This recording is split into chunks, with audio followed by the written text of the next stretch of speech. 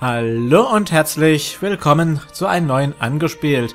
Wir spielen ein Indie-Spiel, ein ähm, Low-Budget-Rollenspiel namens Antarion. Das war mal eine Kickstarter-Aktion gewesen, die auch erfolgreich war, soweit ich richtig weiß. Und äh, es ist wie gesagt ein Oldschool-Rollenspiel, aber man merkt jetzt, dass es auch Low-Budget ist. Aber das hat ja nicht unbedingt zu heißen, dass es schlecht wäre. Ich habe ähm, hab von dem Spiel bisher noch überhaupt nichts gehört gehabt, bis vor einer Woche in etwa über YouTube ich eine Nachricht bekommen habe vom Entwickler mit dem Steam Key für dieses Spiel und naja, er hat gemeint gehabt, oder die haben gemeint gehabt, ob ich ein Let's Play mache oder vielleicht ein Review oder sonst irgendetwas oder ob ich machen könnte. Und da dachte ich mir, ich mache mal ein angespielt und wir schauen uns das mal an. So, das ganze Spiel ist auf Englisch. Aber das sollte ja kein so großes Problem sein, denke ich. Dann äh, klicke ich mal auf Start, dann schauen wir uns das mal an. Ich habe schon ein ganz kleines bisschen mal reingeschaut gehabt, aber noch nicht allzu sehr. Ein bisschen weiß ich was. So, wir spielen vier Charaktere. Da können wir zum ersten Mal äh, entweder selber uns was raussuchen, das heißt, wir können hier zum Beispiel weniger Punkte, nee, weniger geht gar nicht, mehr Punkte drauf geben uh, und so unser eigenes Dings machen. 20 Punkte kann man drauf geben. Oder wir können uns natürlich raussuchen, wie zum Beispiel hier Gregor, Deep, Sage, weiß ich jetzt gar nicht, uh, relies primarily on deep arcane knowledge to perform feats of potion mixing. Ah ja, okay. Kämpfer. Mhm grauer, weißer Wizard, schwarzer Zauberer. Ja, das sind so die Klassen, die man spielen kann. Nehmen wir mal äh, Player 1, das äh, Mensch, männlich und was für ein Gesicht nehmen wir dann? Ja, nehmen wir das ja.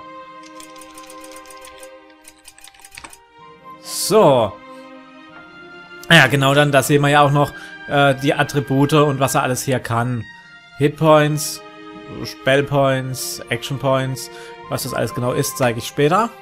Der ist auf jeden Fall gut in äh, Zweihand äh, Nahkampf, äh, zwei, äh, zweihändige Nahkampfwaffen. Hat eine hohe äh, Stärke und die anderen, ja, okay. So, Player 2 äh, will ich auch mal einen Mensch geben eine Frau mit dem Gesicht. Bleiben wir mal bei dem hier. Und da würde ich einen Dieb nehmen. Hier sehen wir schon, Dieb haben alles, ähm, ja, das sieht man ja. Ah, okay, die Attribute ändern sich gar nicht. Ändern sie sich hier? Ah ja, okay, ich verstehe. Ähm, Frauen haben mehr Klugheit, äh, mehr Weisheit und Männer mehr Stärke drin. Sie ist gut in Schlösser knacken. Nee, Schlösser knacken und Pickpocketing. Ich glaube Taschendiebstahl, wenn ich... Müsste das sein, oder? Ansonsten ist sie jetzt nicht so gut. Äh, wir nennen sie... So. Jetzt schauen wir mal, was gibt's denn noch alles zum Spiel? Untote? Wölfe? Wölfe sind cool. Fellnur, das ist eine Art Katzenwesen, glaube ich. Orks, Elfen, Nekrophil, eine magische Rasse. Und Untoten. Wir nehmen hier mal einen Wolf.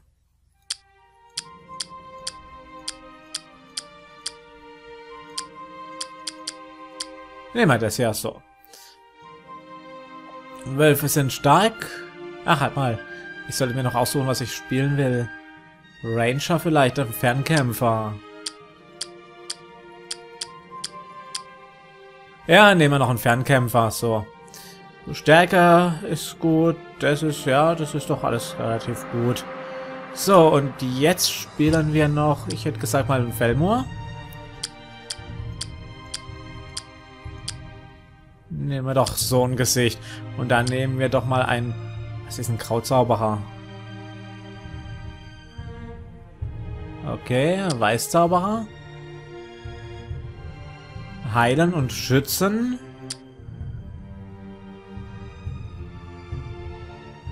Wisst ihr was? Ich glaube, dann nehme ich noch einen weißen Zauberer mit Heilung rein. Es hört sich jedenfalls nicht verkehrt an. Oh, da sollten wir noch einen Namen geben.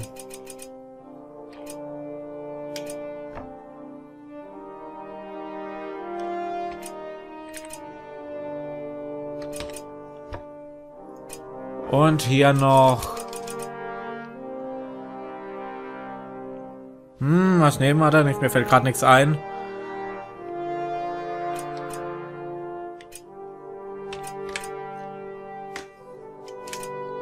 Eran. So. Gut, und dann... Ah ja, noch eine Warnung, dass die Party nicht geändert werden kann während des Spiels. Das heißt, wir müssen damit leben dann. Gut, aber ich denke, mit einem Weißmagier zum Heilen, ein... Ach, da haben wir noch... Moment.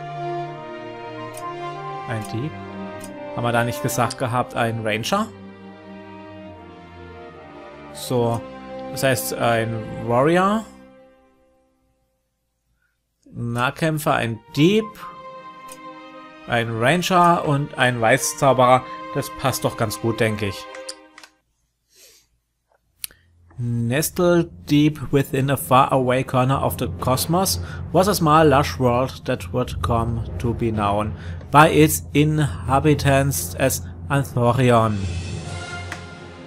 After a long civil war, spanning thousands of years, Anthorion was united, sharing in an unprecedented era of peace and prosperity. Soweit hört sich ja ganz gut an. But recently, recently clouds has begun to gather on Antorin's horizon.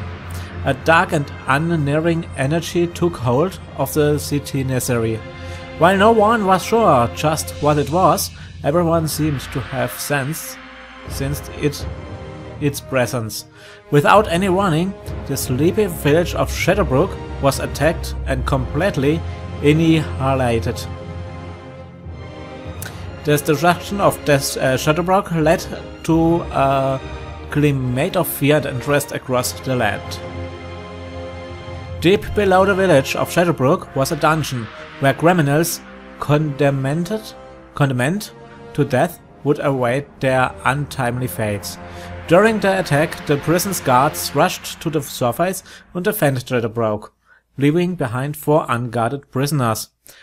An hour later, when the guards still hadn't returned, one of the prisoners decided to use a rusted uh, nail he hidden away to pick his cell's iron lock.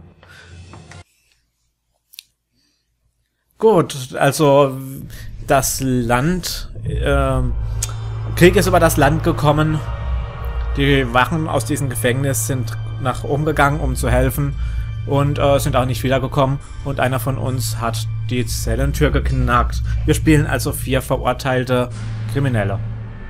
So, man sieht schon, es ist wirklich oldschool, wie es aussieht. Auch wenn man so rumläuft, sieht das Ganze doch äh,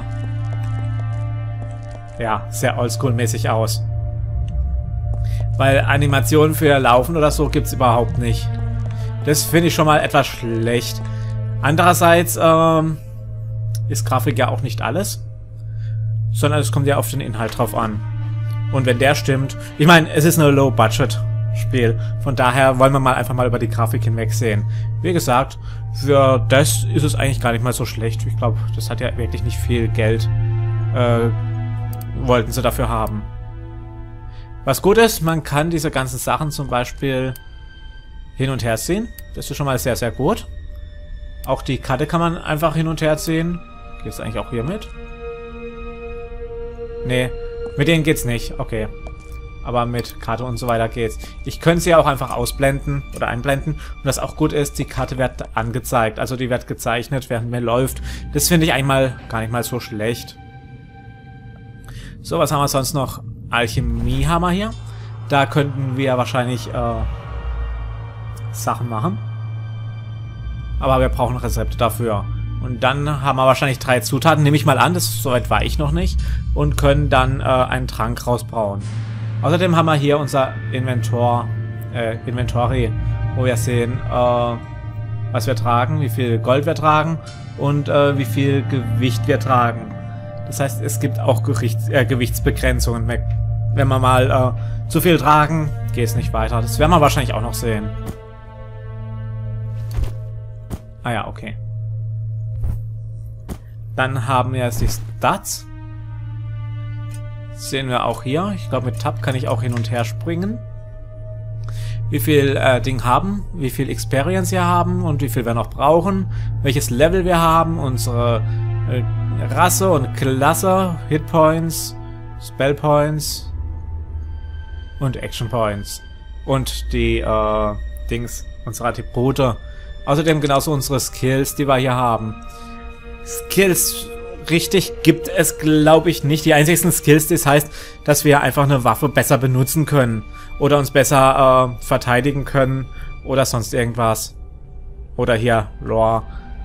Aber was anderes gibt es hier, glaube ich, nicht. Dann haben wir noch die Quest Escape the Dungeon. Find a way to escape this place. Und hier haben wir noch die Finish. So. Menü.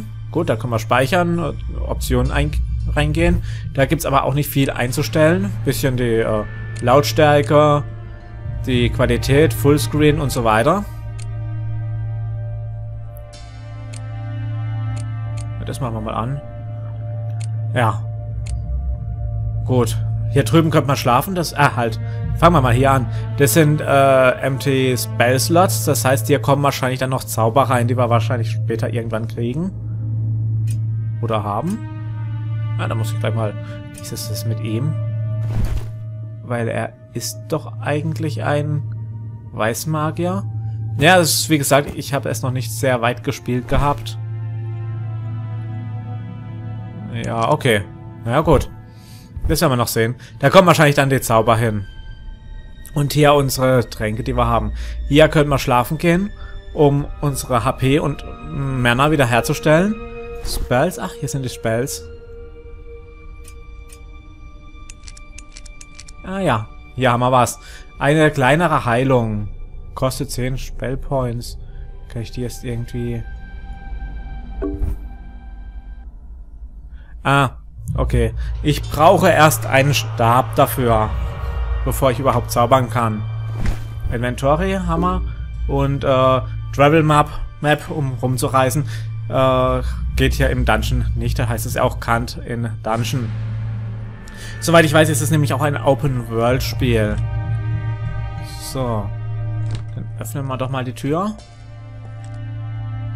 Na, das ist verschlossen. Very easy können wir aber leider nicht öffnen, weil wir haben keine Dietriche. Das hier geht aber. Da liegt jemand rum, den nehmen wir doch mal. Was haben wir denn da? Magna Flower, eine Zutat, kommt mit. Und Pfeiler. Äh, sie war, glaube ich, der... Richtig? Sie war der Dings. Der Ranger. Das heißt, sie... Äh, wer hat denn das? Ach, du hast es gerade. Du bekommst die Pfeile. Sehr schön. So, haben wir sonst noch irgendetwas? Gehen wir mal weiter hier. Hier geht es um die Ecke.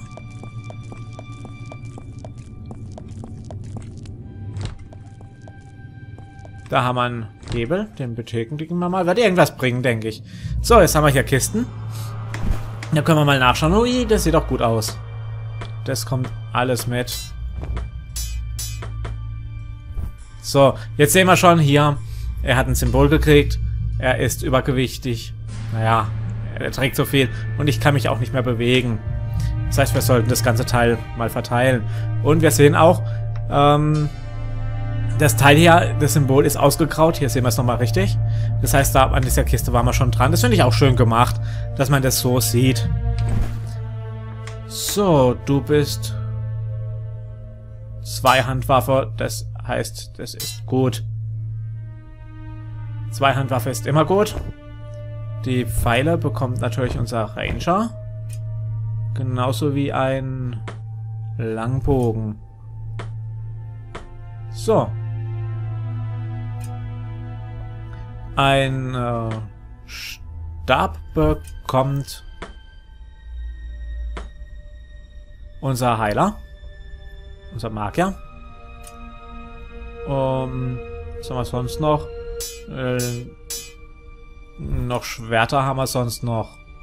Also, ähm, äh, mir fällt gerade der Name nicht ein. Kleinschwerter? Langschwert? Also auf jeden Fall kein Langschwert. Kurzschwert. Kurzschwert. Jetzt habe ich es. Das ist echt, echt peinlich, dass ich sowas vergessen habe. Aber egal. Dann bekommt sie noch ein Kurzschwert. Und ich hätte gesagt, sie bekommt auch noch ein Kurzschwert, weil ich bin mir nicht sicher,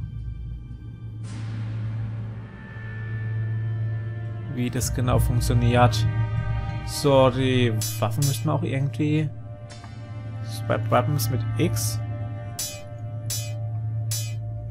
Ah ja. Da kann ich mal hin und her schalten. Weil ich glaube, ein Langbogen, beziehungsweise Bogen allgemein im Nahkampf, ist nicht so gut. So, die anderen Sachen brauchen wir jetzt eigentlich nicht wirklich. Wir nehmen es aber trotzdem mit. Vielleicht können wir sie ja irgendwann mal verkaufen. So, dann schauen wir mal hier rein. Äpfel. Äpfel sind immer gut. Ach ja, genau. Man kann übrigens auch mit Maus laufen, so wie ich jetzt hier. Man kann aber auch einfach mit WASD hin und her laufen, was ich persönlich in dem Spiel ähm, angenehmer finde zu machen. So, was haben wir da? Da haben wir nichts drin. Ja, und da sieht man, es ist ganz gut, dass das angezeigt wird, weil sonst wüsste ich jetzt, oder würde ich irgendwann mal vergessen, ob ich da reingeschaut habe oder nicht. Ah, und es, wir kriegen noch Kleider. So, eine Robe kriegt wahrscheinlich unser Magier. Genauso wie Sandalen. Und diese Fesseln, die braucht man nicht mehr. Nicht wahr? Nee, die brauchen wir definitiv nicht. So. Und weg damit. Und weg damit. So, was haben wir sonst noch? Schild. Schild bekommt auf jeden Fall unser Dieb. Ähm, dann haben wir nochmal eine Robe und Gleiter. Gleiter. Dann bekommst du Gleiter. Du bekommst auch ein paar Kleider. Was sehr schön ist, man sieht es ja, wenn ich jetzt hat, ihr seht ja, wenn ich das sehr umrüst, ähm, hier sehen wir, dass sie das anhat und hier im, direkt im Dings sehen wir auch, dass sich das ändert. Und das finde ich schön, auch wenn sie keine richtige G-Animation oder sowas haben, finde ich doch sehr schön, dass man das Angezogene auch direkt so sieht. Und es sieht auch ziemlich ähnlich aus wie das hier. Das finde ich sehr, sehr schön. So. Was haben wir sonst noch? Nochmal eine Robe. Naja, dann bekommst du die Robe. Das passt zwar nicht hundertprozentig, aber was soll's. So, jetzt sind wir doch schon viel besser ausgerüstet. Sieht doch schon mal besser aus.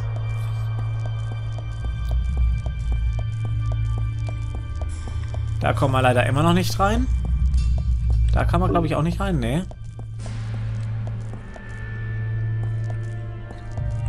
So, dann können wir nur noch hier lang. Dann müssen wir wohl wahrscheinlich einen Ausgang suchen. Ach, genau. Das war, glaube ich, die Tür, die wir mit dem Hebel aufgemacht haben. Das heißt, vorher wären wir hier gar nicht rumgekommen. Aber wir schauen uns trotzdem dann mal hier noch weiter um. Okay. Hier gibt's noch ein Fass mit einer Fackel. Ja, ich denke, Fackeln kann man immer ganz gut gebrauchen. So, und damit würde ich diese Folge mal beenden. Wir machen aber noch eine weitere, weil so viel vom Spiel haben wir jetzt nicht gesehen. Nur gerade mal die Grundvoraussetzungen. Da fällt mir noch eine Sache ein. Wie sieht es denn jetzt mit dem Zauber aus? Right click a spell to select for a quick slot. Ah, und dann kann ich ihn hinsehen. Und wie sieht es dann aus? Ah ja, okay. Ich verstehe. Das äh, wäre dann hier jetzt nur bei meinem Heiler angezeigt, aber das ist, das passt. Gut, dann ähm, machen wir wirklich Schluss. Dann mal vielen Dank fürs Anschauen. Macht's gut und bis zur nächsten Folge. Tschüss!